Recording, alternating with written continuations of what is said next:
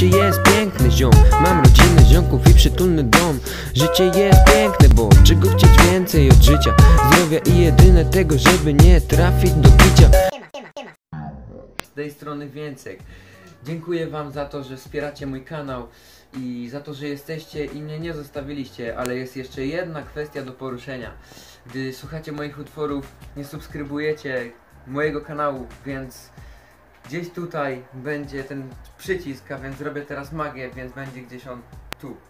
Więc subskrybuj. Siema.